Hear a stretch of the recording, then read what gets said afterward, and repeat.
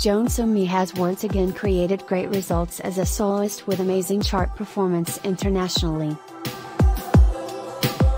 Her latest first full-length album XOXO was released on October 29, 6 p.m. KST, and as of October 30th, the album has risen to the top of iTunes K-pop Top Album chart.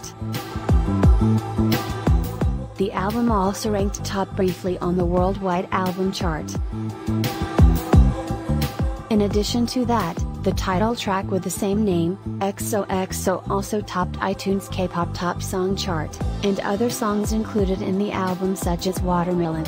Don't Let Me Go and Dumb Dumb also entered the charts. XOXO has been garnering keen attention from global fans, with its MV surpassing 14 million views in just a day since its release. Meanwhile, Jeon Somi will be kickstarting her comeback today at SBS Inkigayo.